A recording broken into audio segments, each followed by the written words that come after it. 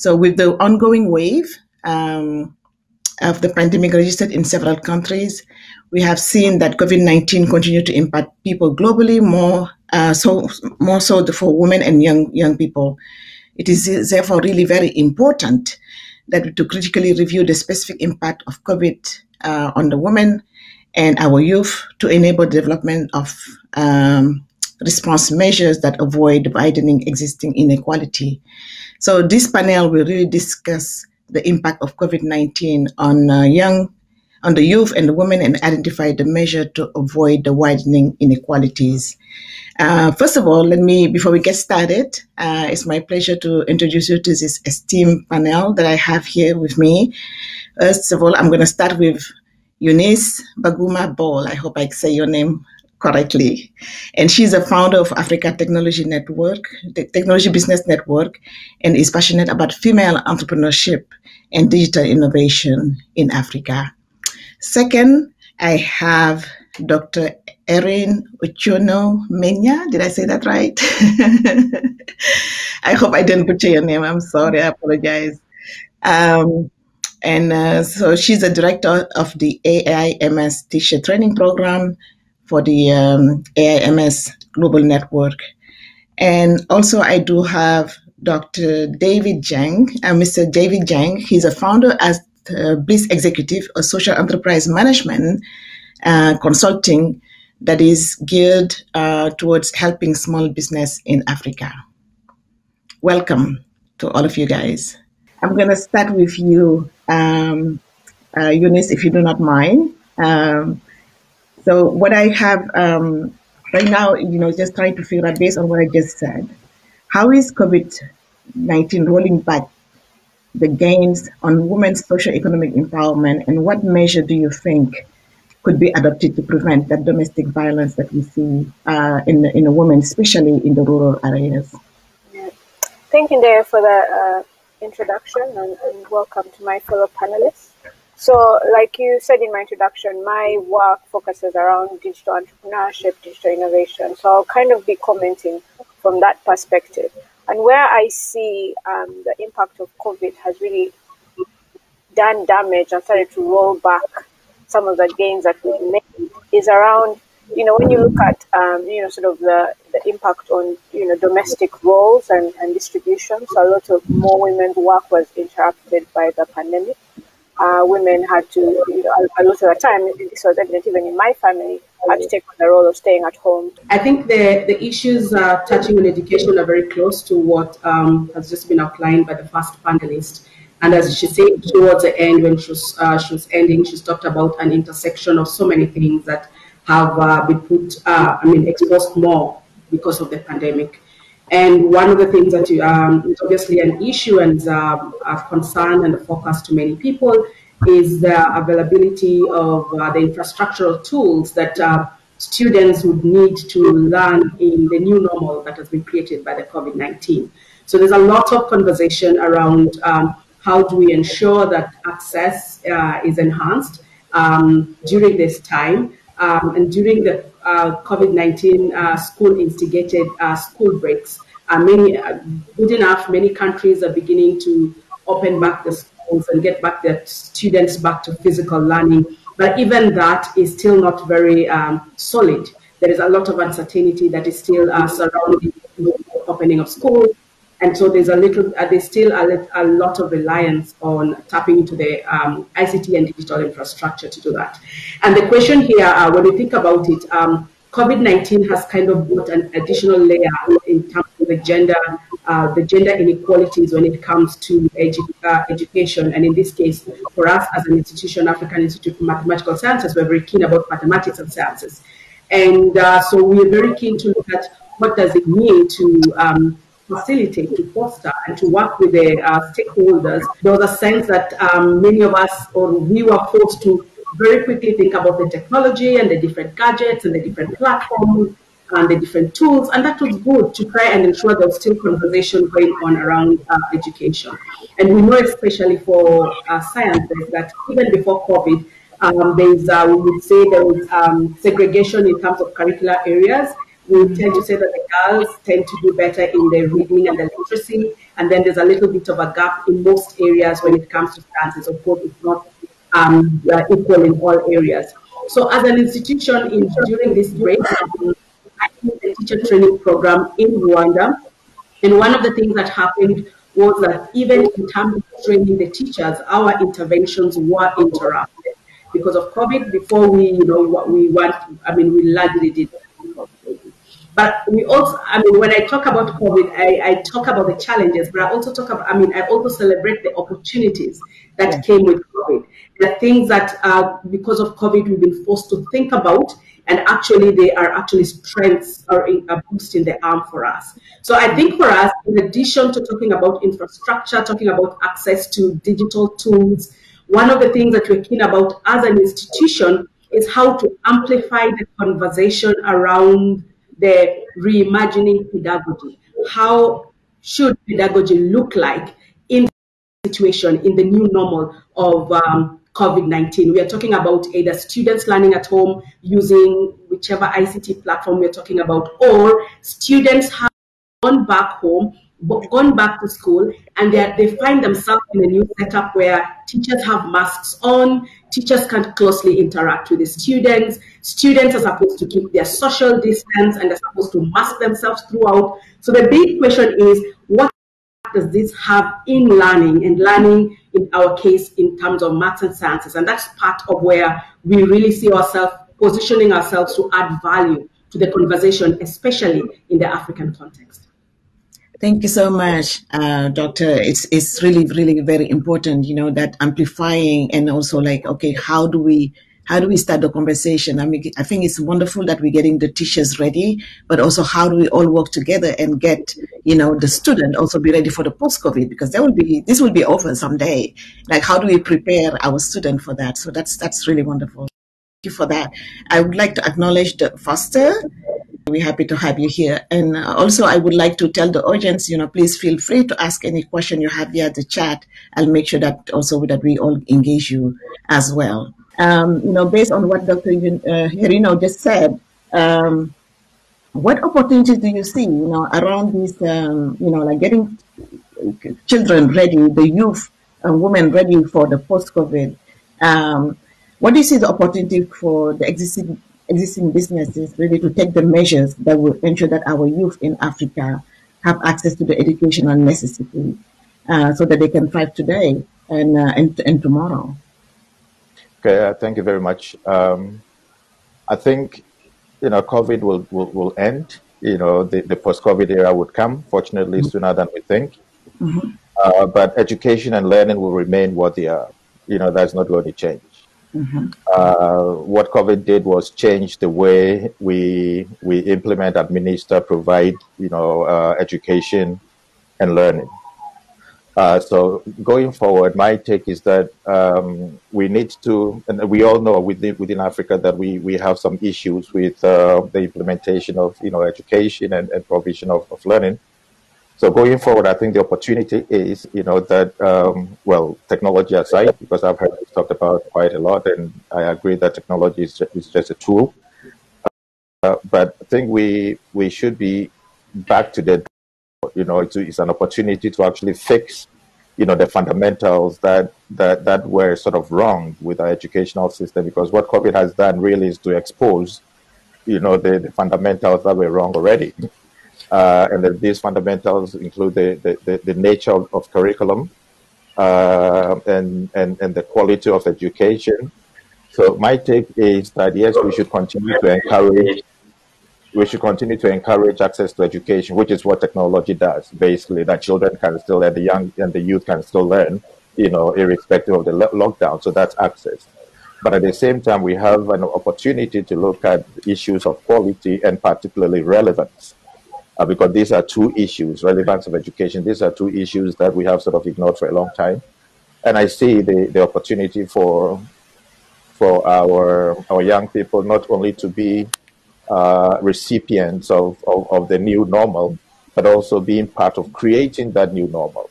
Mm-hmm. Uh, in terms of creating the, the, the, technological opportunities, innovation, to creating the new ways, you know, that, uh, that, that we teach, we teach and learn.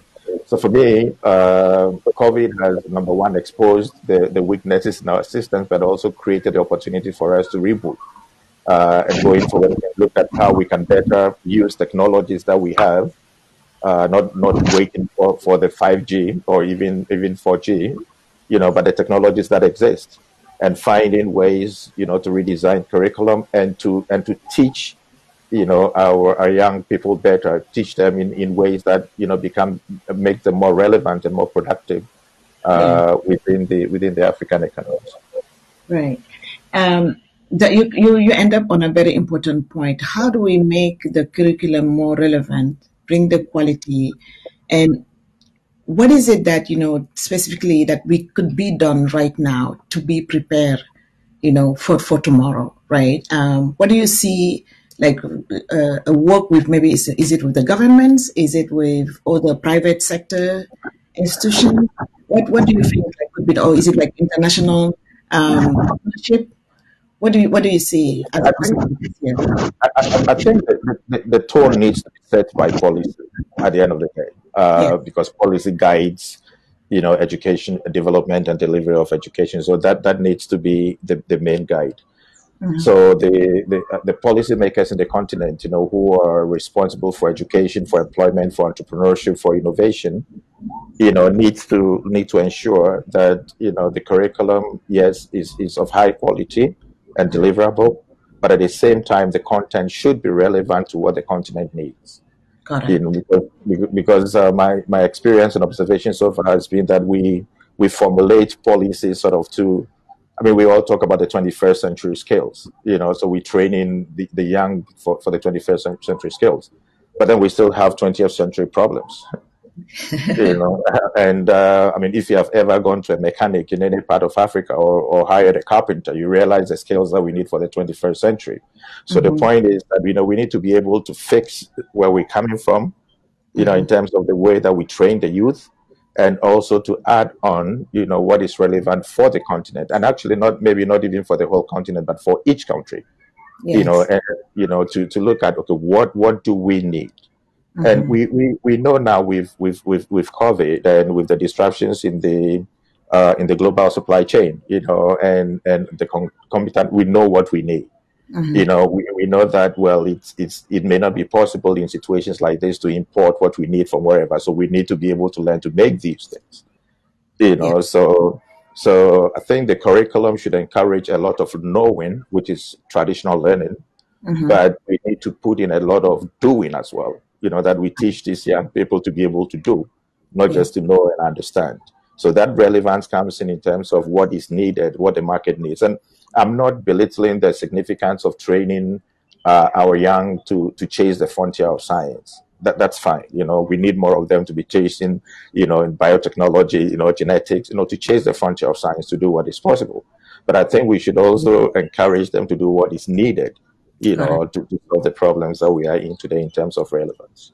Absolutely. Uh, thank you for that. I think it's a very good point, you know, about what is needed and every country is different. So it's like has to be tailored on a country by country basis. Uh, on that point, let me get to David. Uh, welcome back. Can you hear us now? Thank you. Yes, I can hear you.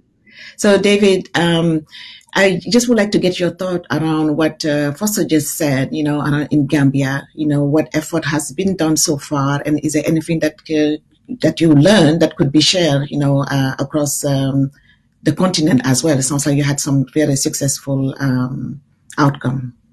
Yes, yes. Uh, thank you very much. In in Gambia, um, realize that um, a private sector plays a key role in in every situation that the country is facing.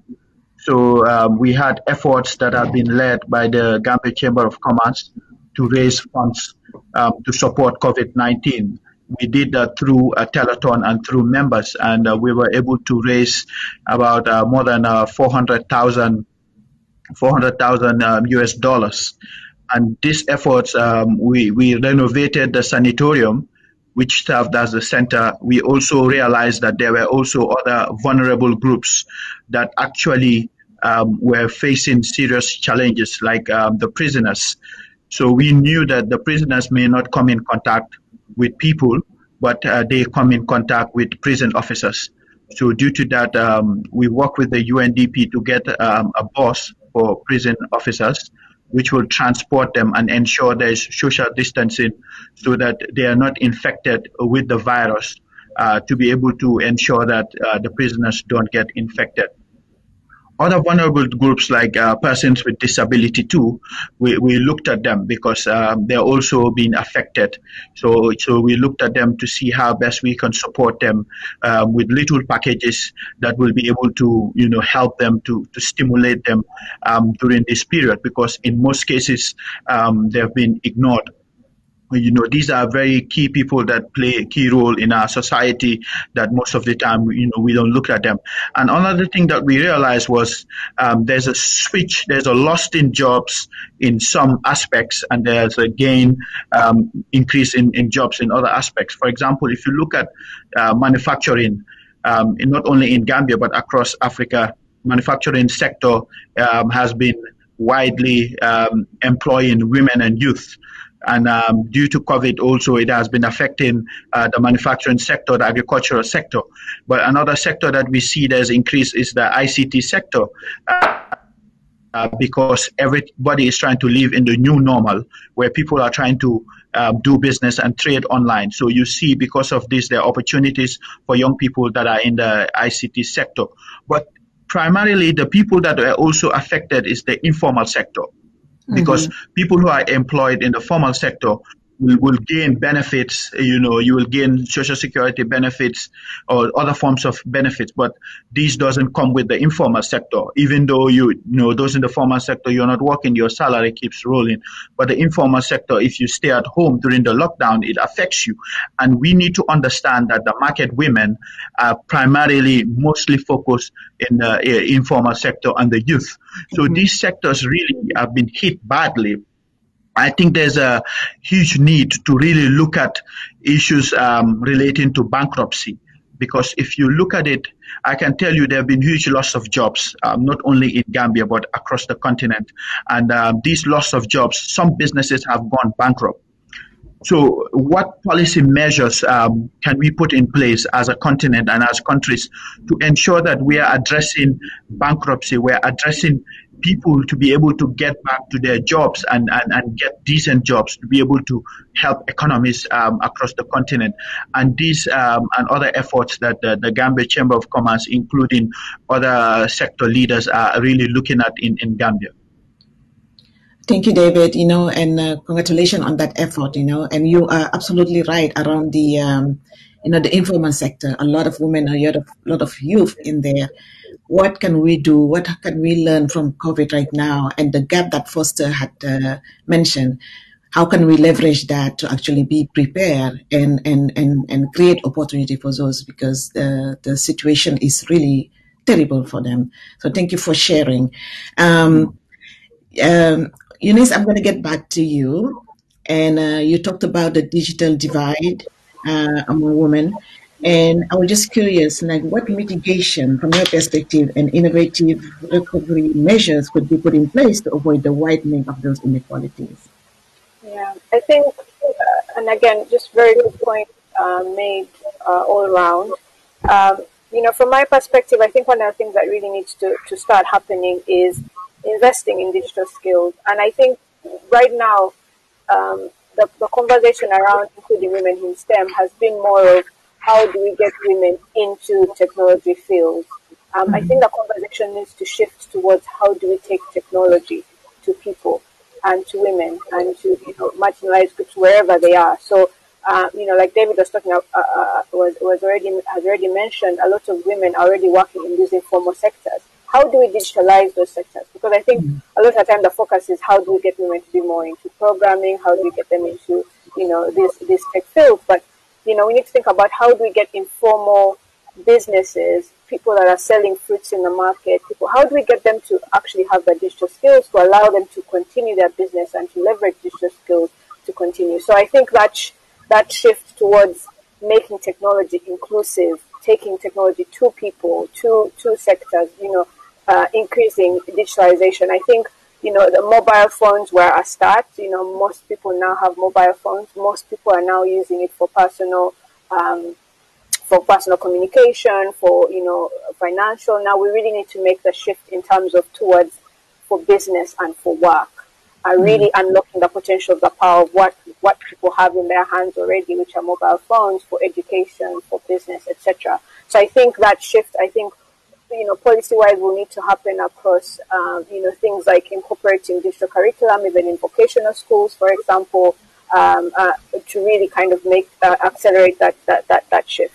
Um, I think the other thing that needs to really happen is um, increasing, you know, making participation within the digital economy much more uh, inclusive. So again, tying into the additional skills, how do we tie those with the right support, whether it's around entrepreneurship, whether it's around careers, really. And I think there's also really need to be a, a shift around culture because I think it was uh, Dr. Irene who said, you know, we are talking to educators, we also need to talk to students. But, you know, on the other hand, we also need to talk to families because I think what happened is there was a drive around educate the girl child and the, the message was send her to school, right? So there was some protection, some protection that kind of availed to girls like while she's at school, you know, she's not going to be interrupted, she's not going to be called to do house chores, etc. But now, if, if learning is moving back into the home setting, how do we, how do we make that message that you know, if she's now studying, don't say, oh, go and collect water versus your brother, because this totally changes the dynamic. I think there was that protection of you went to school, you had to be there at a certain time, so maybe that time was kind of protected. But there's a, a colleague of mine who, who did some research into how girls use uh, a, a, mobile phone for la- for revision, and she said, you know, when they compared with boys and girls, girls struggle to use it simply because they had so many other responsibilities and chores at home compared to boys, so are not really able to make that shift. So at school they were fine, they were peers, but at home there's a difference. So I think now, as part of that conversation, and even around policy, the messaging, because I remember growing up seeing those messages around, you know, send girls to school. Now the messaging needs to be much more holistic of, you know, prioritize girls' education wherever it's happening, whether it's at home or at school. So I think some of the, those are some of the shifts I think that we need to see um, to start really incorporating uh, the new normal. And I really think it's, it starts from the grassroots with culture and really bringing the conversation uh, into, you know, into the societal uh, forefront. Yes, and I really love what you just said around you know um, shifting the culture. Uh, we have to really think differently, and how might we do that now that you know the education now sh- has shifted to home?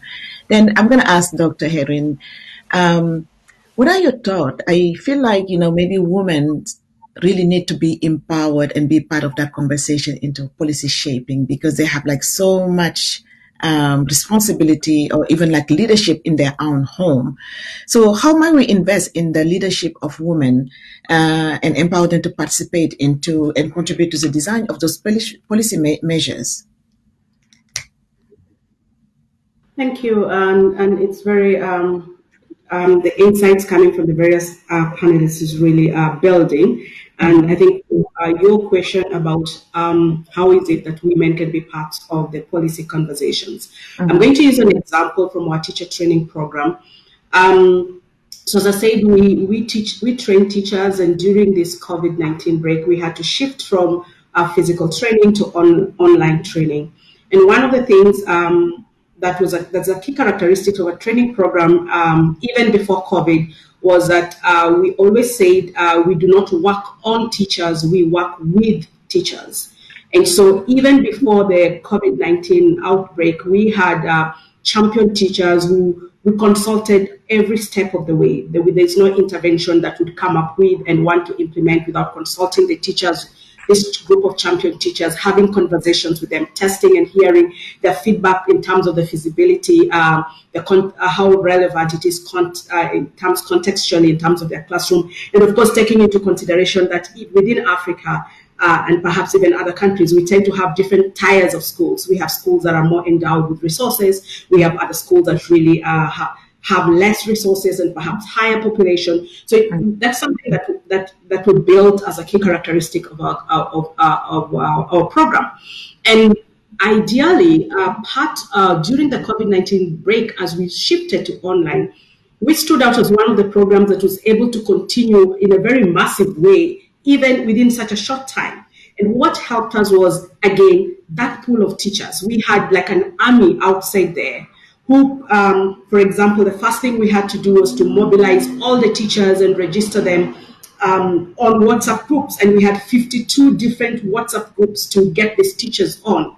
And we couldn't handle it as a team in the office. The people who help galvanize the fellow teachers and look for them and talk to them and get them online on onto the WhatsApp groups were the fellow teachers. And of course, so so one of the things that I saw, uh, and to respond to your question about how do we get women to be part of this conversation, is first and foremost giving them those leadership roles right from the grassroots level within the context uh, where they function. And the good thing about uh, in, in, in, when you talk about online training, that of course, quote unquote, was forced upon us by COVID, was such that, of course, the people who are cut out because they don't have the smartphones and they, they don't have the computers. But for those who then had the smartphones, um, with the help of the fellow teachers, and as the teachers, as we pushed more responsibility to them, as we call them on the side to have side trainings for them. So there's that sense of empowerment, very deliberate empowerment processes that has to be built. Um, I remember the teachers are starting off and saying, how are we even going to do this remote training? I, I do not have the capacity or that sense of uh, I do not have the capacity to sit down and follow it on my own. Or a lady teacher saying, you know, um, um, so my neighbors will come visiting and you want me to follow the training, you know. But one of the things that helped was just creating an open line of conversation. So we'd have, have sessions where would allow them to air these issues and respond to these issues we created a scaffold around them, for example, making sure we almost had a timetable that mm-hmm. structured this is the time we're supposed to do this, this is the time we're supposed to do this, and that helped them plan themselves. But we are also very sensitive to their needs. So, for example, at the beginning, we started off by saying we'd have sessions in the morning, and then they said, no, you know, in the morning we have to do ABCD, so it might be better if we shift it at in the afternoon, but we need to uh, end a little earlier because we have to go and prepare our meals. So just being responsive to their needs and keeping tweaking all that. And what we have observed with our champion teachers, especially that the ladies that were in that group that started at the point where they were not very confident with using their their phones, they couldn't believe they could uh, set up teams meetings and facilitate meetings. the sense of confidence that they have, the yeah. sense of um, leadership capacity that they have that now we they can host leaders from their districts. They can engage with them and interact with them. So i think the first thing is first and foremost creating space and additional making the table wider and making getting more of the women to the table alongside the male because I think it is important for them to do that, that alongside their male counterparts, interact and see, you know, it's not just me who is in, uh, who is struggling, uh, but at the same time, I have somebody else I can reach out to and then continuously supporting them, tracking what the weak areas are, responding to those situations, and modeling. I think one of the things they said was the issue of modeling the process. It, I think it was very helpful for my team that I was there as a leader and I was a woman. And I would engage them very closely. I would tell them how I have scheduled my time. I'm working at home, and this is the way I've scheduled my time. These are the struggles I'm going through. Yeah. And uh, we had to talk about soft ad- adaptive motivational patterns like resilience and persistence. So we would acknowledge the challenges, we would not push them aside, but we would have to encourage them and say, you know, you have to find ways of overcoming. You might do a little extra. You might not be like that man who can climb up the tree to get internet, but what else can you do? So just creating that nurturing environment that eventually shifts, makes a cultural, um, I would say, an attitudinal shift, and imbues them with more knowledge and skills, and therefore boosts um, boost their confidence, and then creating opportunity for them to begin um, in, in, in, a very protected way and gradually in a way that now they can stand on their feet, talk and speak amongst their peers then I think uh, what we're seeing with our teachers is that now they can stand, sit alongside the policymakers, the district education leaders, they can have conversations alongside them. And that is because a culture, a very natural culture has been created that yeah. does not make them um, wish away the problems, but mm-hmm. take into account the challenges and allow them to find ways of navigating around those very unique challenges that they might face in their yeah. setup. You know, I really love the the flexibility that you have talked about, modeling and having a woman, somebody who can relate to their challenges uh, and helping them is just really amazing. Um, Foster, let me let me get to you. You know, um, Dr. Erin had just mentioned, you know, those with smartphones, uh, we can do all the wonderful things that she had just talked about. We also have to recognize there are some people that are in a very rural area that do not have access to smartphone. I'm just wondering if you have any thought about how we might access and, and those people, and how do we also make sure that they're getting the the, the, the education they need, they need, the women and the youth, uh, so that they not they don't fall behind. Because as we all know, some of them went back home and they're really falling behind right now. What other tools do we have? Yeah, thank you. Uh, Eunice, you're probably not going to like me very much. Um, because I, I know you're all for digital and all. uh, I, I, I, have no problem with digital, and I think you know, given where we, we are now, where we're going, you know, that's the only way to go. Uh, but I I also get worried, you know, that somehow um, we're we're we're doing almost the same things and tr- trying to use the same tools that we had used in the past, mm-hmm. you know, to solve what I call the 20th century pro- problems. Mm-hmm. You know, like in Gambia, you know, the Chamber of Commerce, you know, it's, it's almost charitable. Okay, there is a problem. You know, let's organize private sector or, or NGOs or government to solve that problem. And then there is a next problem. Or, you know, uh, having ideas and tools to solve problem around women uh, in in one society in one country. I mean, these are all good, and these we have been doing for the last so many decades. Mm-hmm. Um, you know, we have been focusing on sort of uh, micro projects, you know, supporting women, supporting supporting the youth, but we are still where we are. You know, so I mean, I, I like uh, Eunice's uh, take on you know rather starting to look at a holistic you know, approach and, and maybe more collaborative approach to solving this. Now, directly to your question, um, uh, I'm almost sure that we can provide mobile phones to every single woman and every single young person in the continent tomorrow. But that will not solve the problem that, that, they, that they still have. Mm-hmm. But these mobile phones are supposed to be used for something. Mm-hmm. For example, you know, I mentor a lot of uh, young um, young men and women in the continent on innovation and entrepreneurship, and oftentimes, you know, you find a lot of these young people, you know, in the in the in the mobile space, you know, in the app space, and I tell them it's okay that the woman in in Ghana, you know, uh, who is a farmer, has a mobile phone that she can check the weather, you know, and he can check where which where to get right input. But my problem is that woman still has a baby on her back, you know, and using the hoe to till the land. So mm-hmm. how does having the mobile phone help the help help that woman? Mm-hmm. She's still not productive. Yeah. You, know, you can still you can have the mobile application that the woman can sort of make a contribution or we make contributions among themselves for savings and insurance. But at the end of the day, that woman will remain selling those tomatoes that don't bring her much.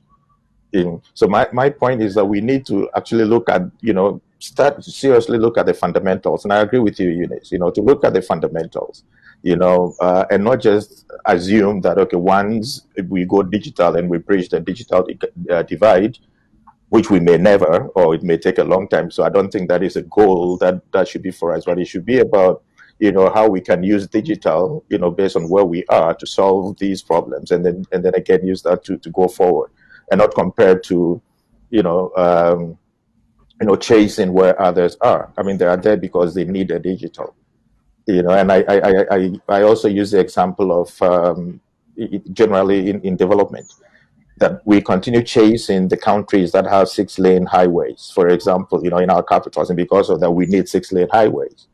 You know, meanwhile, the people that would that would travel on that high, on those highways don't even have the means. So my suggestion is, yes, we should push for digital, but I will start, I will take a step backwards and, and look for the digital that we make in Africa, not the digital that we just learn to use, because digital does not just mean a mobile phone, you know, that we can make, and that can also create jobs and involve women in, in making this and, and, and using this.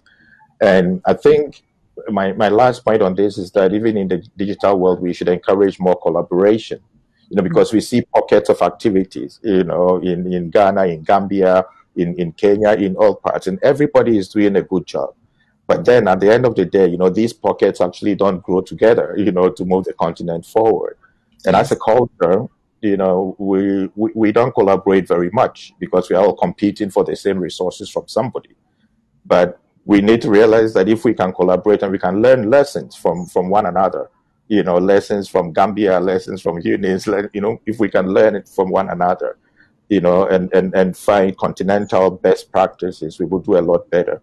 So it's not just about distributing digital mobile phones or you know creating the space for that, but it needs a, a lot more fundamental and collaborative approach to supporting the youth and, and women. Yeah, uh, you know, you are very right around the collaboration, and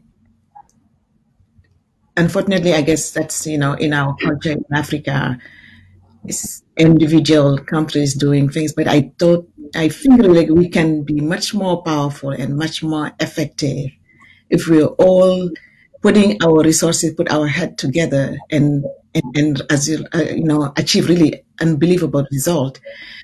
So I, I I do not know like you know it's a very important point, and I think in all sectors, it's not just education, and it's everywhere. And I'm just curious, you know, and maybe David, you can uh, uh, get your thought, but I would like to hear from all of you guys. What? How can we move to that towards that? What What is keeping Africa from that collaboration? I'm sure there's some collaboration, um, but then how can we just enhance that? Well, um, I mean, collaboration is, is possible. You know, I think a lot of visions have been shared uh, across the continent. We're now talking of um, Vision 2063, um, and this is possible. But I mean, governments, uh, leaders, uh, people, all stakeholders have to be committed. You know, you know, we have to move from from decisions to actions. I think without commitment, uh, you know, our problems will not be solved as a continent, and and this is something that you know we all have to agree with, especially when we know that there are so many issues that have to be addressed from you know physical infrastructure. There's so many physical infrastructural um, challenges that are across the continent, from from electricity, you know, issues, from you know issues relating to addressing, from issues relating to to net network network issues issues related to road network, and you know we look at also other digital you know infrastructural issues. Um, the cost of internet is, is very high in, in some African countries, including you know my country, the, the Gambia. So, you know, quality internet is also an issue. So when we look at all these things, it doesn't require a one size fit all. I think we have to be really innovative in, in addressing our problems as a continent.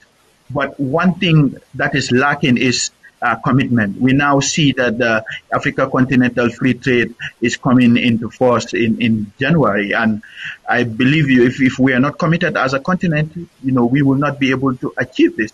The other issue that I see is that um, the technology that we use, most of the technology that we use in the continent are not owned uh, by Africans. So we really have to ensure that we, we build the right human capital um, to be able to ensure that we are producing and owning intellectual properties of the technologies that we are using in Africa. And uh, this will really enhance issues of job creation and, and economic development and growth. So, and I think that if we are able to be committed and speak with one voice and act with one voice, we have been speaking with one voice as a continent, but are we acting as one voice as a continent? And if we can answer this question and make it happen, I can tell you we will see changes. I guess just to um, respond to some of the, I think where the discussion has gone somehow, there's, you know, there's, there's a the, the, there's a bigger question that's being asked around how do you create system change, right? Um, and you know, it's between is it you know bottom up? Do you empower each individual in different ways?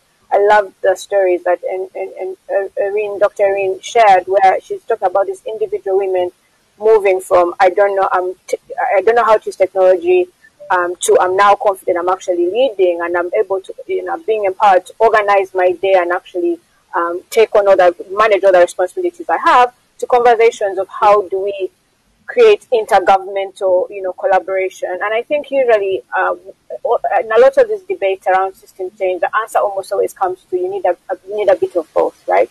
So you need the you need the entrepreneurs are creating you know the, the apps as well. Because the thing with the story and this is what I've seen from my work with uh, with entrepreneurs and, and, and, female entrepreneurs particular is that story of you know that woman in, in the garden with her with her mobile phone. Sometimes what happens i'm not saying in all the cases is that she's exposed to more information. She sees more market prices about other goods she then says oh i'm now not going to only grow tomatoes i'm going to grow something else and somehow this micro story can actually grow and soon she's doing other things and empowering other women so i think the whole goal is, you know, I'm not advocating for just simply digital technology is going to change that. You know, like I said, there's that holistic approach around changing culture, supporting with skills and, and opportunities to actually make those digital, technologies work uh, for people. But I think that I think that what I, I think the point I want to emphasize is as we talk about you know policy and collaboration at international level is not to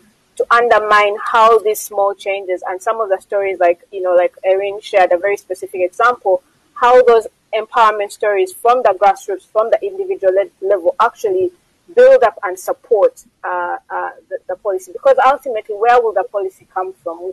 Because it's going to be made by people who are these people who whose voice decides what that is and i think it's how do you empower individual voices to be a part of shaping that as well so I think that's just what I want to contribute to the story is that it has to be both bottom up and top down.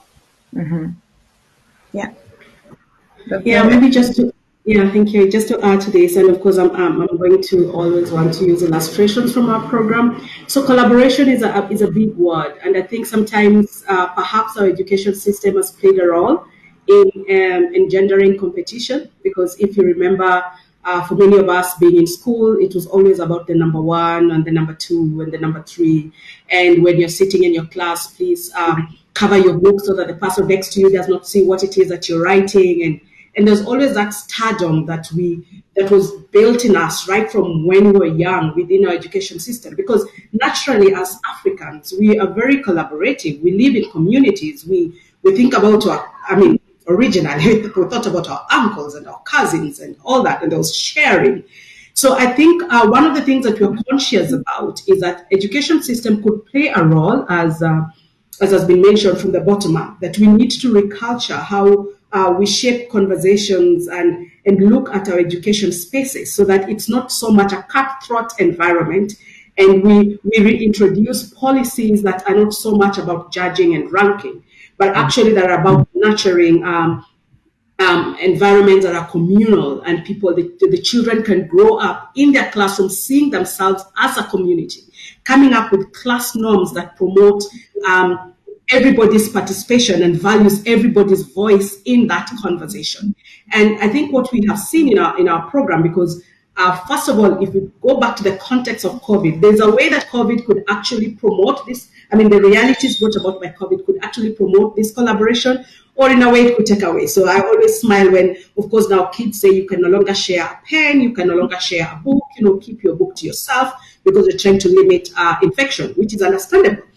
But on the other hand, what we have observed was that uh, just by bringing, for example, I mean, the teachers together on one WhatsApp group and they were from different uh, schools and now they are together. And I think the issue there is about uh, the skills that come with facilitating, because it's not just putting them in the group, but having the idea and the understanding of what it is that you want to foster and build. So what happened is that three months we had our teachers now on the WhatsApp groups, and the first session it was just about you know share your photo, talk about yourself, what do you teach, and all that, and that started creating that sense of community. And then we had very structured conversation that was very controlled, that we know this is what we're going to talk about. And of course, making sure, because making sure there's an emotional connection. So there's a skill about how do you build in that emotional connection so that it's not cold and dry. But over time, as schools have opened, and now we have brought them together into some form of physical meetings, the kind of excitement that was there for them to physically meet one another. One of the things that we're working on, which, as I said, I'm going back to the education space, is starting the teachers themselves. I always joke and tell them that the teachers are the most difficult learners you can ever have because teachers walk around with, I'm a teacher, I know. So when you have want to sit me down to teach me, then it's almost going against the grain.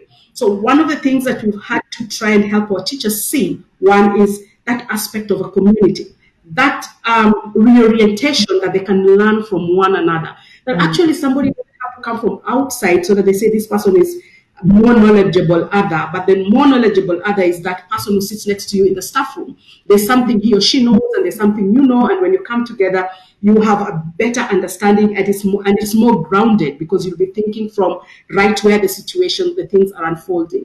And then going back to class and helping them see in the same way, would like you to start making your runners see themselves as a community. Let them have norms. Let us find ways of not so much celebrating the number one, but so much celebrating the effort that we've put in the work and how much we've worked together. So I think, as, as just as we said, there will obviously be top up the policies, our leaders, and all that. But we also need to find a way of recapturing or going back to where we were and I think the education system has a role to play. If we can engender more of collaboration and less of competition, even mm-hmm. as parents, so that when it's not so much were you number one or were you number two, but you know what is it that you're still struggling in, and you know, and just celebrating uh, how is it that this child is doing, but also how the collective is doing. Then perhaps we could contribute to this need. And and lastly, as I talk about education, for Africa, part of the challenge that we've had, again, when we talk about policies, is that many times if country X is trying to talk about a new policy, so in Africa right now, there's something called competency-based curriculum. And almost every country is saying we're moving to competency-based curriculum. But if you read the policy papers, while their countries have started it ahead of the others in the continent, first of all, in most cases, there is no common definition of competency-based curriculum across the African countries. Mm-hmm. Second of all, when you read the policy papers, there's a lot of references of countries outside over there and not the country next door that started doing this so-called curriculum so that we can come next to Kenya and come to Rwanda and Rwanda is reaching out to Nigeria and really finding local based solutions, creating platforms for our educationists to share their challenges and the innovative ways of dealing with those challenges. So I think the education space has a role and has a space to play towards injecting and enhancing collab- the collaboration we'd love to see as a yeah. continent. Yeah. One of the spaces we could nurture that. Absolutely. And uh, local solutions and not trying to get, uh, you know, um, solution from other part of the world that may not really be fitting to our African setting. I really love that. Foster, is there anything you would like to add to that? I think she, uh, Erin, thank you. You said a lot of, you know, of what I was thinking about. That at the end of the day, it's about it's about education, but we also need to look at how we how we position education, because as it is now, it's about literacy uh, the, the, way we see education. You know that you you go in there, then you get a formal qualification, and you have a certificate, and you go home, and you're so excited, and everybody claps for you. Um, and I think the the competence based approach, or what I even move beyond and say the capability based approach, um, should should be is what should be encouraged. And it's not so much about how the curriculum is designed, but it's just sometimes it's a little case about how children are taught. Um, I had a case. It was actually in Gambia. You know, I was I was in a hotel breakfast table, and I overheard a group of teachers who were apparently, you know, in the same hotel. They were attending a conference on how to teach mathematics. You know, so they were going on about all this, and they were brilliant teachers. I could see nothing wrong with with with them, but I could see how they were struggling, you know, and discussing how difficult it is to teach these kids statistics you know, to let the kids understand, you know, the, the statistics and the curriculum. So I said to them, wait a second.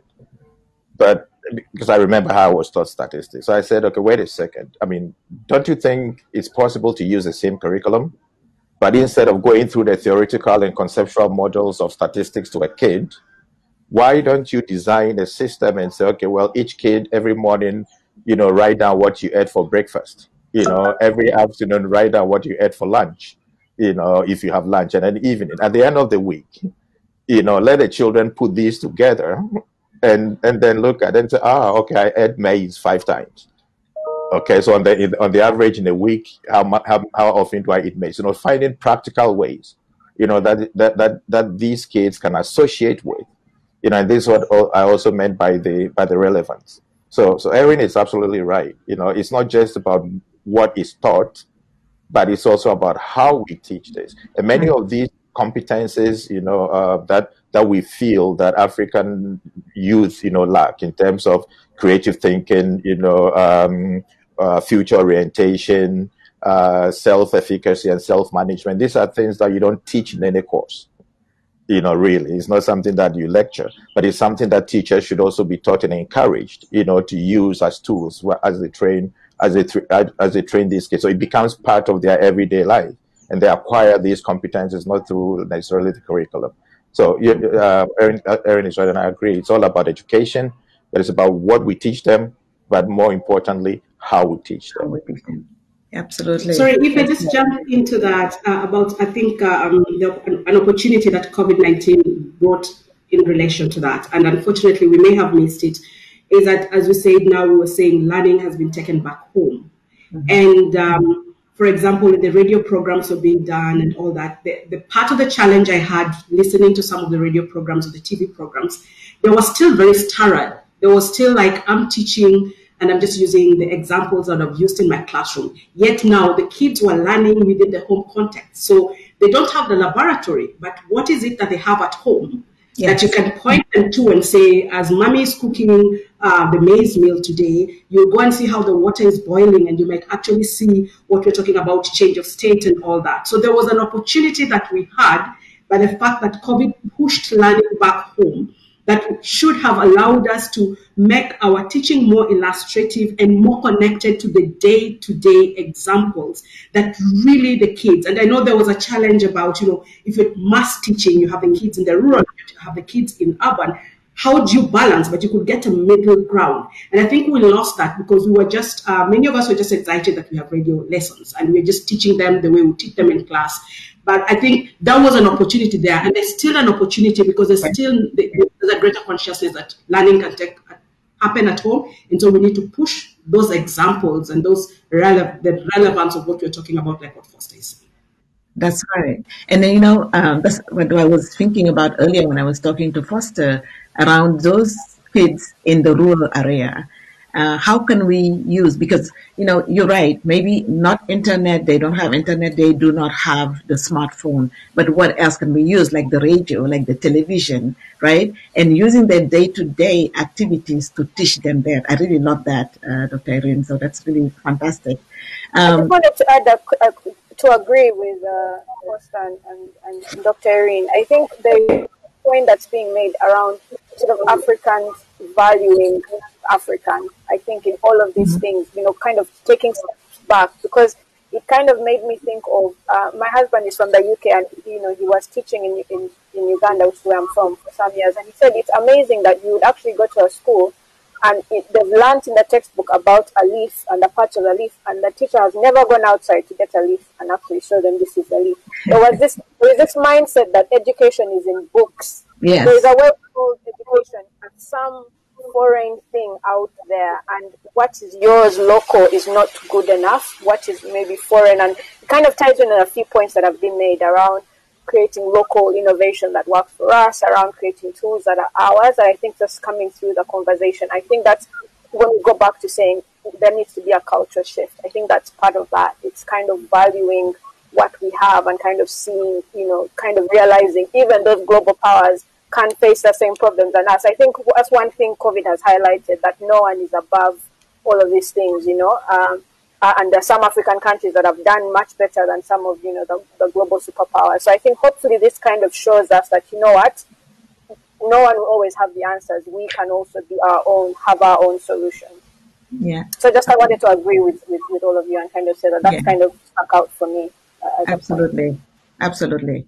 Um, I see a, a, question just just came up. Um, so how do we how do we con- invoke confidence in our cap- capabilities as African countries in terms of creating or developing educational system that respond to our context? Why do we always look outside for any systematic solution to our challenges? I think that's what we were just talking about. uh, but I wonder if uh, David, is there anything that you would like to add there? Yes, um, what I would like to add there is um, as a continent, there are challenges, but uh, there are opportunities. Uh, we've seen also some sectors that uh, young people are in, uh, especially women, like um, those in, in the creative sectors. We've seen some of them have been producing face masks. We've seen others in the pharmaceutical sector who've been, you know, making hand sanitizers. Uh, these have been opportunities, unlike only those in the ICT sector. And I'll, I'll agree with my colleagues um, who've really um, highlighted the issue of um, policy. And um, you know, my only worry I have is that most of the time our policy measures are related to the finance or the funding that is available coming from outside. So most of the time, I think we should really refocus uh, our policy issues to really um, impact and results because um, not only to availability of financing to finance particular activity, but if that activity doesn't give us impact and results, I think we as Africans should not agree to it. So we have uh, Africans should really come together, and uh, this is why I'll always highlight the issue of commitment because uh, it's true we have to collaborate from government to civil society, private sector, academia. We have to really collaborate. But if we are not committed towards ensuring that the policies that we put in place are really addressing our concerns, our issues, and the impact that we want to see as a continent, but not only the funding that is available. Uh, believe me, we will not see the Africa that we want. So this is what we really need to refocus, especially the young people who will live to witness and see Agenda 2063. We have to stand up to this and ensure it happens. Well said, David. Um, we have about four minutes left. Any last minute uh, thought, Foster, you would like to add?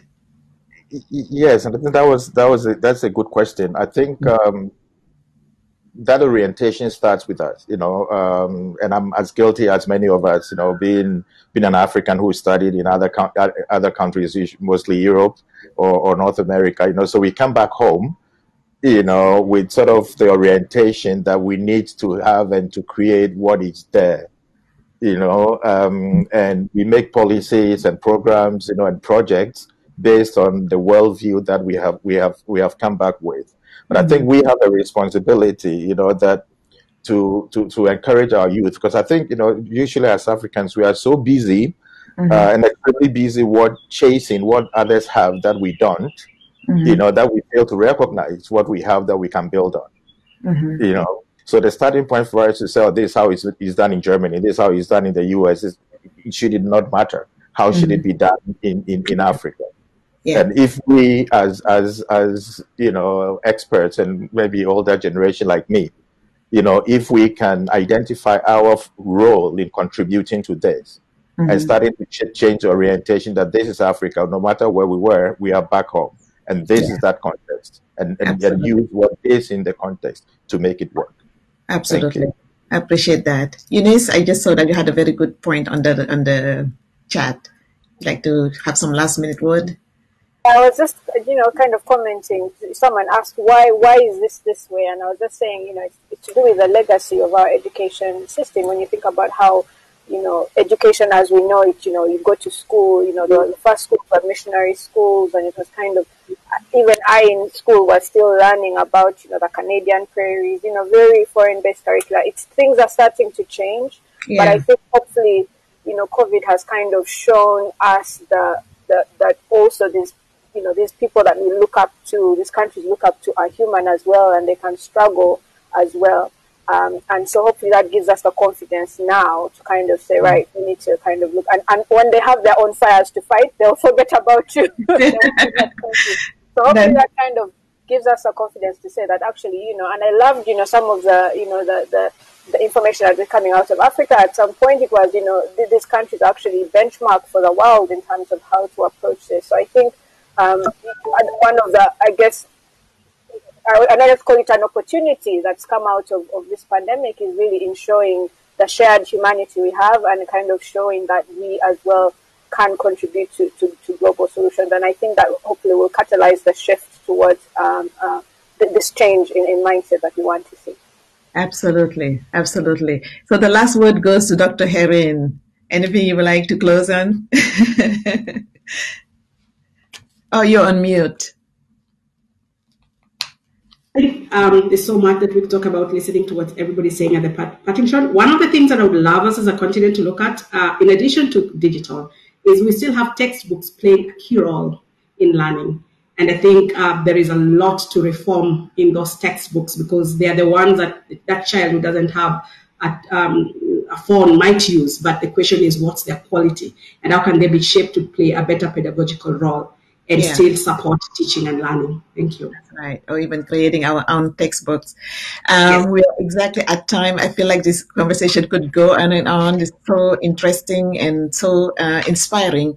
Just wanted to thank you so much. We are exactly at time right now, but really appreciate your being here and your thoughtfulness. And uh, I'm really hoping that, you know, we get this and create something better for our our dear continent. And I think there's a lot of possibilities here. I love the idea about the education starting from the bottom bottom up and empowering our youth, our women, but also working with the government just like to for those policy phases. So really appreciate it. Thank you so much for everything and thank you for being here.